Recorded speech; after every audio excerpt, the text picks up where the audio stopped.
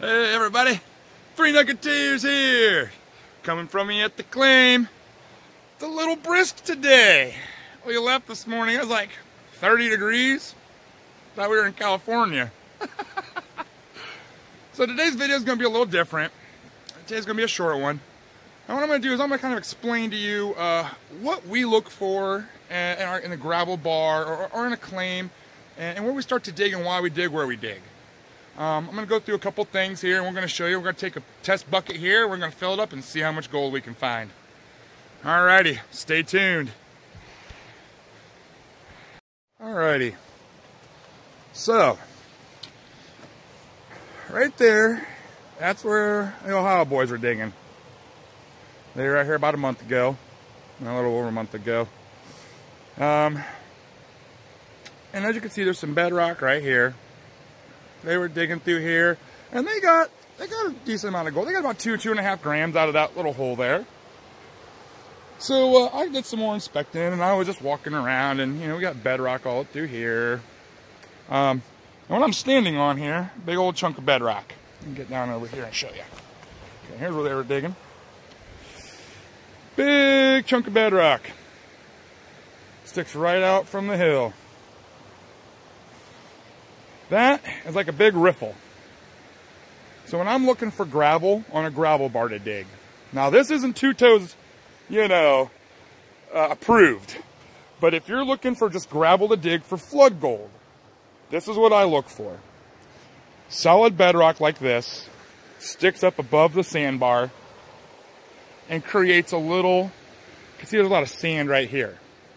Okay, so you know there's, there's a lot of uh, uh, fluid coming through here, a lot of water. And you come to this big old piece of bedrock, and then right on the other side, bam, bam, bam, bam, bam, you start getting these big rocks. I just pulled this one out here before I started filming. That was right there. And as soon as you pull those rocks out, step down here, as you can see, it's about, I'd say three feet. As soon as we pull, pulling them rocks out, we got some decent looking gravel. And as we follow this along, this is all bedrock.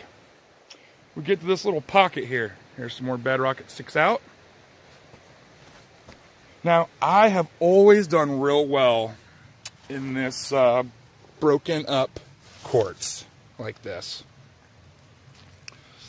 It's kind of a white colored, little bit of small gravel in it.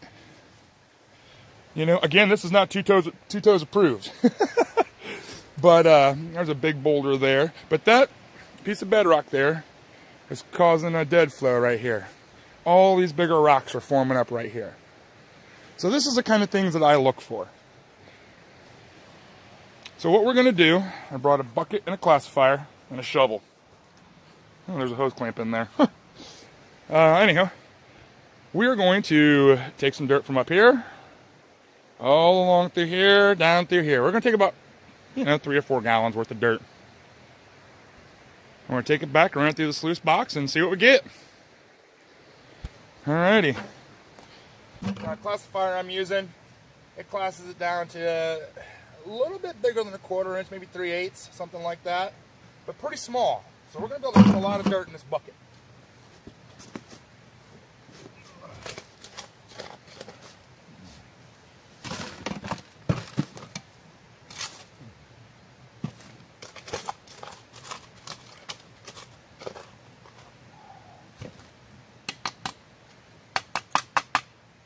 rained a day or two ago, so everything's real sticky. So I'm trying to get everything as clean as I can.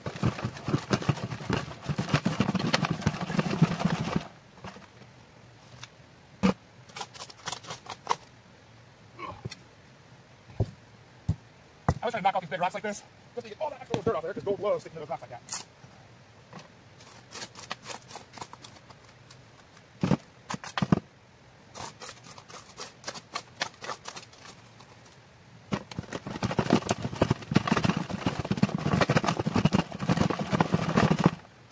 classifier. All right, let's go take a minute.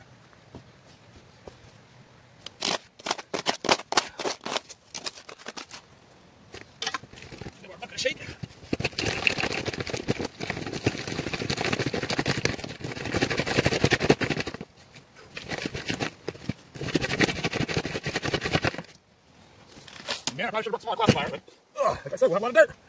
Hopefully like gold too.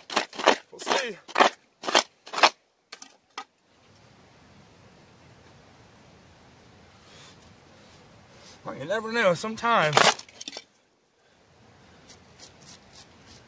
Good cracks up here.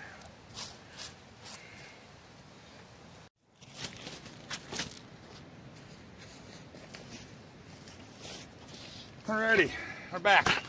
We got that bucket of dirt. I was gonna set up the sluice and run through the sluice, but there ain't that much in there. So, we're gonna pan it.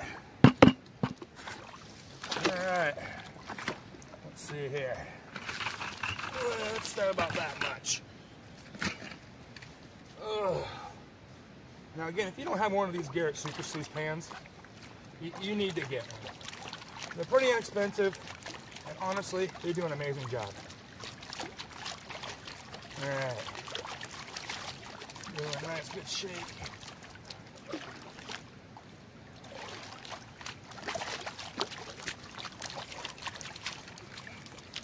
Hopefully we got some gold in here.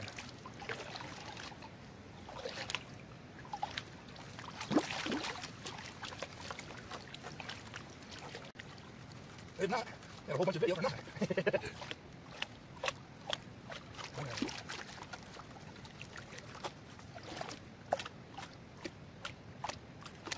I'm not seeing too much black sand. That's not a good sign.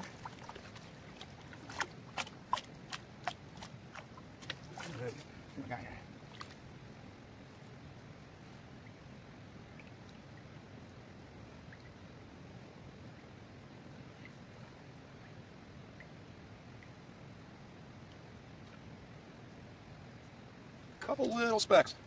I don't know if you can see that or not, but not really what I was hoping for. Right, see what we can do. I'll leave that in there. Where's the rest in? Let's see what we got. Let's just fill it up.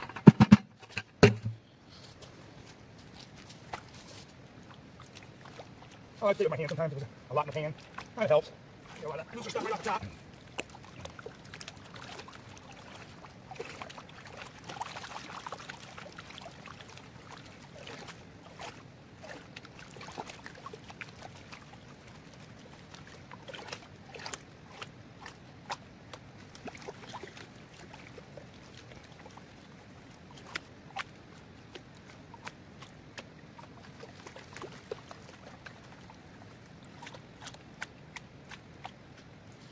Got.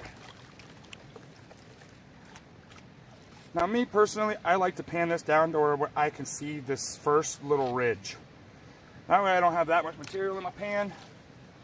And my panning skills I have pretty confidence in, so I don't think I've lost that much gold if any. So we'll see here. Now we already did have some gold in here from the first pan.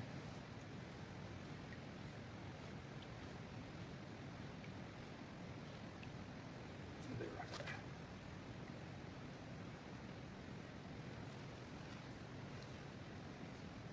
Should that one? Yeah, we got a little bit of gold in there. Alrighty. So, that's the gold we got. It's not bad for what little dirt we had in there. Now, if we had a whole five gallon bucket full, ran through the sluice, might not be too bad. I have to get over there and dig better. so those are just like some of the things I say that we look for when we're, uh, you know, panning gravel or loose sandy gravel is any kind of bedrock, exposed bedrock, you know, on the opposite side of the flow, usually a dead zone. And uh, that's what you want to look for. You want to look for those dead zones. And, um, and that's where the heavies will fall off. Black sands, irons, and of course gold. I don't know, there's probably Uh, 20, 30 pieces in there. If this was Gold Rush, we'd have a $700 million season. Alrighty, let's go back over and get a bucket from that other spot. Test it out. See you in a minute.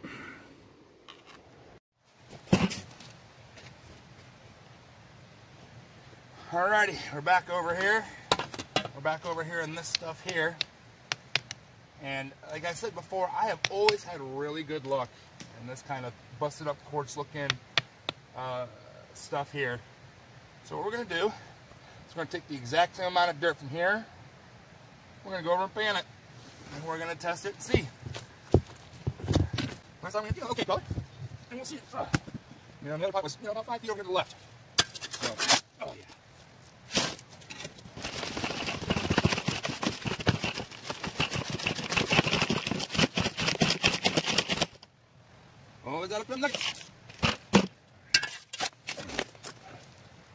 I know some of you thinking, boy, that's awfully loose dirt. But we're digging flour gold, flood gold. We're looking for quantity over quality when you're doing flood gold like this. You know, this is something you can go out with a bucket and a pan and go out to a gravel bar and find gold. Oh, shit, two shovelfuls. All right, there we go. I got about the same amount. Maybe just a hair more. But, I mean, there's maybe a gallon of dirt in there. Okay, head back down to the river. I got it's a heck of a walk. The ladies got themselves fire going. They've been cold all morning. I think the high today is 54. So, yeah, they've been chilly. Alrighty, I'll see you at the river.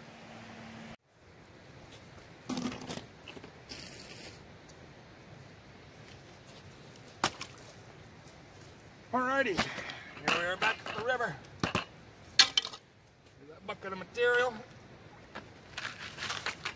I'll start doing, we'll do half and half. Oh boy. Alright. Ooh, yeah, boy, this water is chilly.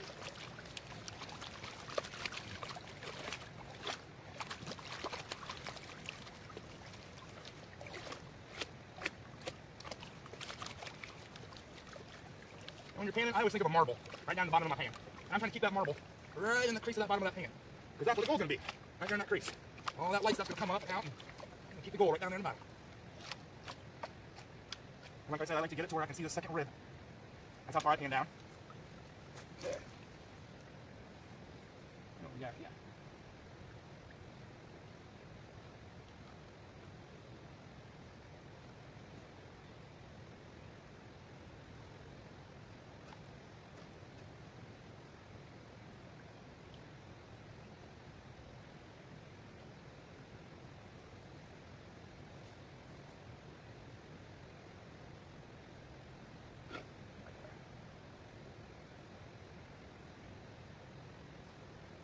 All right. Now this is what we've gotten so far. that one, one spot. A Couple nice little flakes in there. And that black sand just littered with some minus 500 million gold. Some gnat poop. Or as the wife calls it, some galaxy gold. And we still got so what we're going to do is we're going to leave that in the pan. We're going to leave that little bit in there as well. And I'm going to dump that in there and we're going to pan it all together. See what we get. I feel like this is going to be better than the other spot. Looks like it already.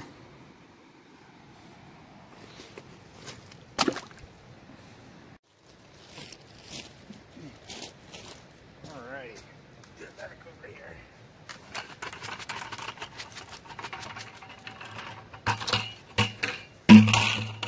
Now I know some of you are probably going, oh my gosh, you should have suckered that up.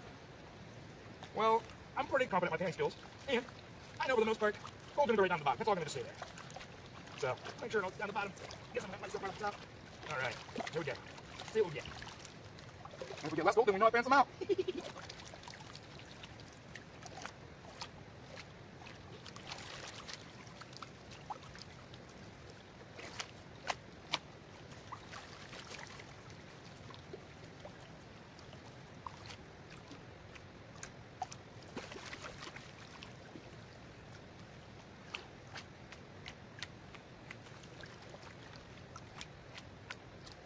Know if you can see or not, that was loaded with black sand. Alright. That's it. See what we got this pan.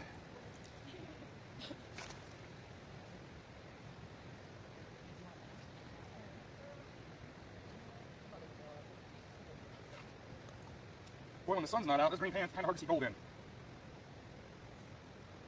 But boy, can you move some material with it.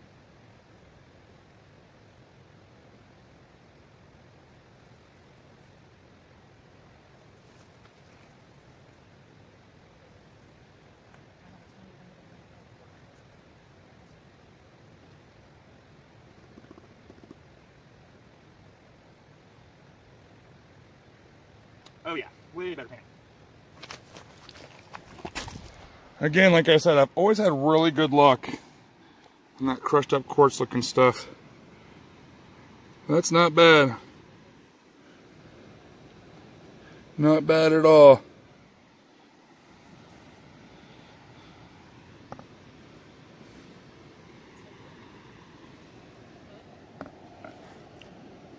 There we go. Well, I would say we definitely got more gold in that second spot. And that's not bad for just two shovelfuls. And that's all I put through the sieve is two shovelfuls, so that's a piece there. I heard a shovel. Hi, ladies. They've been up here working while I've been panning. Can you even see us? But what we're gonna do is right in there. I think we got it all.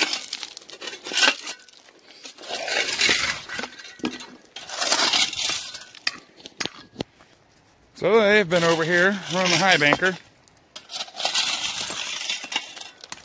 They've got they've been running maybe an hour or so. Yeah, you think? Um, yeah, probably. Well, if you two held still, I would lose you. Getting some material ready. And we're going to fire her up and see what's going on here. See what they got in the box.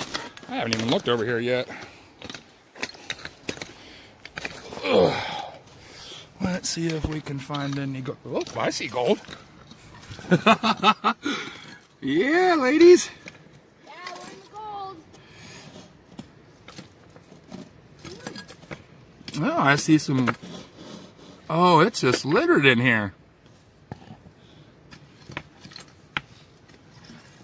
Heck yeah. Your help with this big old rock Heck yeah. boulder. I don't know if you can see up in here or not, but piece of gold right there.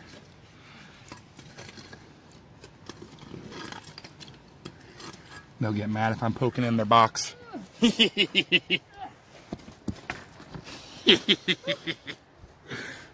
Alrighty. Stay tuned. We'll see how we all did today. Alrighty, everybody. So we're back at the house, and I wanted to kind of show you what you can do from home, even, to help yourself find more gold when you do go to the, to the river. Now, this is just a segment off of uh, Google Maps. Um, I just picked a spot on the Yuba River here and uh, zoomed in on a gravel bar. So if we were looking at this gravel bar, you see here's the river. The flow is going this way. You'll start to see up here light wash sand, looks like light sand, start to get to bigger gravel, bigger gravel, and then you see right in here all these bigger boulders, kind of in a line almost like. Well, that's where you can tell where I would start digging in this line, because that's where a lot of the heavier gold is going to be, your bigger gold is going to be, right here in this line. And now this is something you can do from home, you know, before you head out to the river. Just look at it on Google Maps, kind of get an aerial view, see where the bigger boulders are lying. And you can definitely see the further you come out to the river, they kind of go out, you know, they start to uh, get smaller a little bit. And you go this way, they start to get smaller a little bit. But from right here, all the way up through here, would be a really good spot to start digging. You know, anywhere in this area, you know you're going to start finding gold.